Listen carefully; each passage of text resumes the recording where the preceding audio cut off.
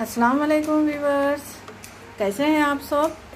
उम्मीद करती हूँ आप सब खैरियत से होंगे। मैं भी अल्लाह के करम से खैरियत से हूँ। अल्लाह हर किसी के परेशानियों को दूर करे। अल्लाह जो बीमार है, उनको शफा अता करे। जो ऑपरेशन थिएटरों में है, उन्हें सेहत अता करे। अल्लाह जो कैद में है, उन्हें कैद से रिहा कर दे। अल्लाह तंगदस्तों की तंगदस्ती दूर कर दे।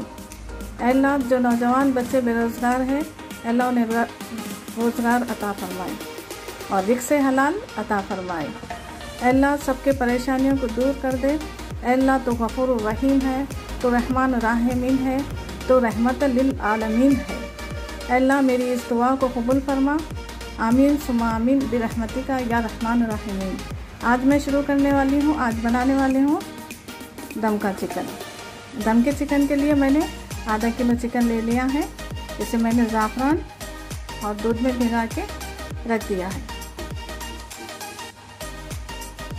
और उसमें डालने के लिए मैंने काजू, बादाम, खोपरे का पेस्ट बना लिया है। और इसमें डेढ़ चम्मच अदरक लहसुन, एक चम्मच लाल मिर्च, आधा चम्मच काली मिर्च, एक चम्मच धनिया पाउडर, आधा चम्मच हल्दी गरम मसाला पाउडर, एक चम्मच हसबे जायका नमक। और ये मैंने ले लिया है एक डली, मीडियम बड़ी साइज़ की प्याज की डली, तल के यहाँ पे रख ली हूँ। अब एक एक कप अपने को ये दही, एक कटोरा। और मैं यहाँ पे नींबू का रस निकाल के रख लिया है, एक नींबू का रस है। चलिए अपन, आपको बनाने का तरीका बताते हैं। मैं इसको दूध से ही डाल दूँगी, क्यों बोले तो ये दूध मज़े का होता दूध से बनाए तो। बिस्मिल्लाहिर्रहमानिर्रहीम ये मैंने बड़ा लगन ले लिया है। इसमें अपन डाल लेंगे मैं ज़ाफ़रान में भिगा के रखी थी दूध दूध और ज़ाफ़रान में। गोश्त अच्छी तरह से धो लेके। आप विनेगर है तो आपके पास विनेगर से धो लीजिए। अगर नहीं है तो नमक से धो लिए। वो भी नहीं है तो आप नींबू से भी धो सकते अब इसमें डालेंगे अपन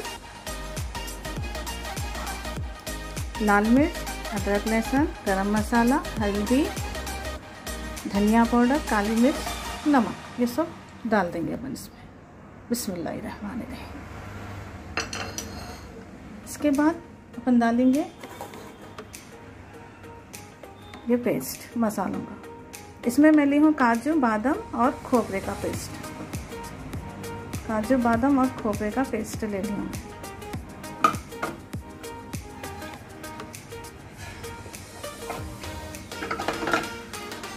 आप अपन इसमें डालेंगे।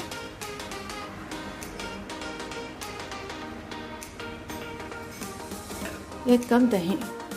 एक कटोरा है ये एक कटोरे से एक कटोरा। मैंने आधा किलो चिकन लिया है। इसके लिए मैंने मीडियम साइज़ की एक प्याज की डली तल ली हूँ पहले से तल के रखी हूँ। मैं इसको अपने हाथों से क्रश कर लूँगी। आप चाहे तो ग्राइंड भी कर सकते हैं मगर इसमें ज़रूरत नहीं है करने की।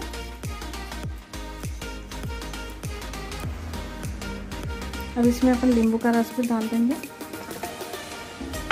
अब अच्छी तरह से मिला लेंगे अपन इसको। अच्छी तरह से मिला लेंगे।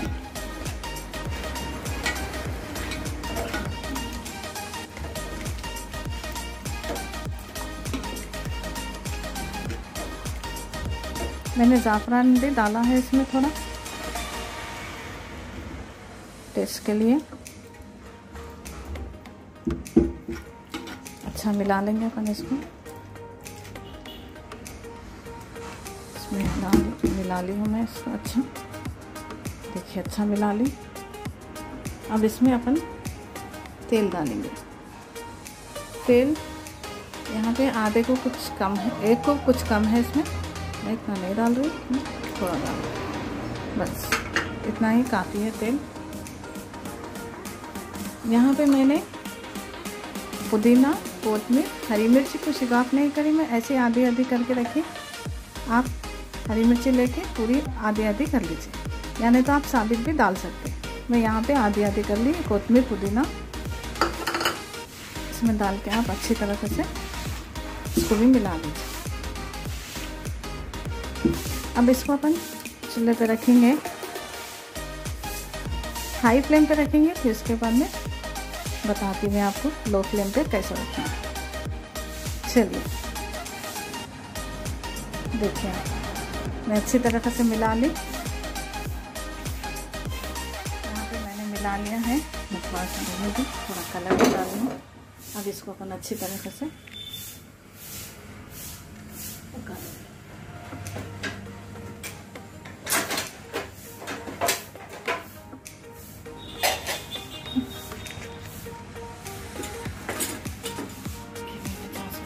चूल्हे पे चढ़ाती हूँ। हाई फ्लेम पे रख ली हूँ, ये देखिए। हाई फ्लेम पे। अब इसको अपन इसी तरह से पका लेंगे। मैंने थोड़ा यहाँ पे कुछ। अब कश्मीरी लाल मिर्च भी अगर है तो आप डाल सकते हैं कलर के लिए। थोड़ा कलर के लिए, थोड़ा मैंने कलर के लिए थोड़ा इसमें रेड कलर डाला है इसमें।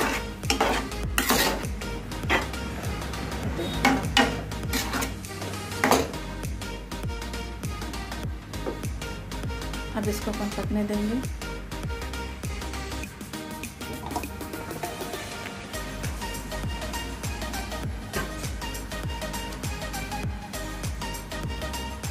इसको थोड़ी देर हिलाना। नहीं बोले तो अपन काजू डाले ना, काजू बादाम और नीचे पकड़ लेते। थोड़ी देर तक हिला के उसके बाद में अपन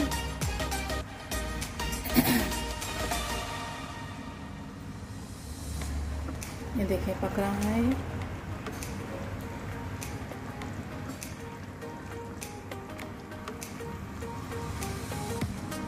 अच्छा पकेगा में अपन इसको।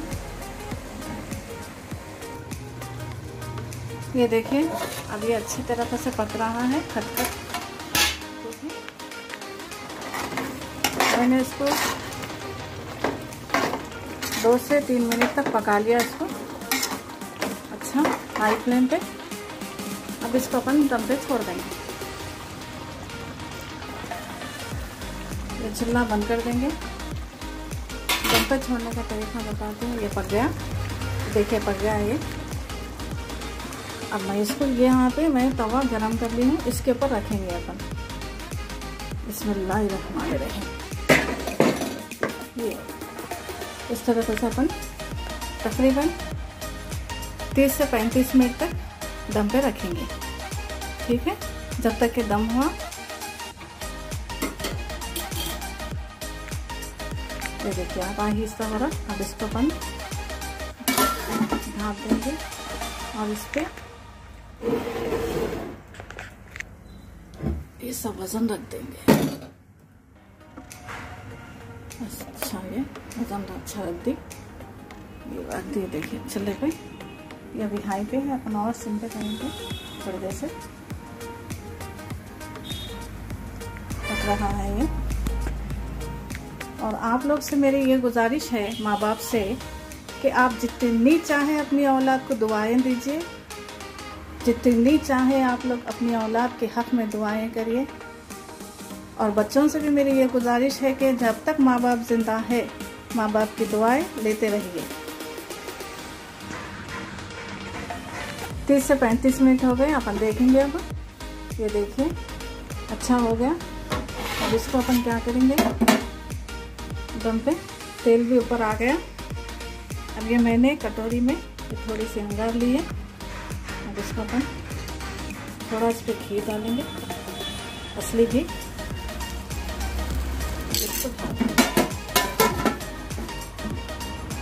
फिर इसको थोड़ी देर भूजन रख देंगे तो दो मिनट के बाद आपको डिश आउट करके बताऊँगी मैं। गोश्त गला नहीं गला आप देखिए देखिए, मैं यहाँ पे निकाल ली हूँ। हो गया ये। आपको डिश शॉर्ट करके बता रही हूँ। ये देखिए। गरम गरम दम दम का मुर्ग रेडी है। और इसमें थोड़ी सी कोतमीर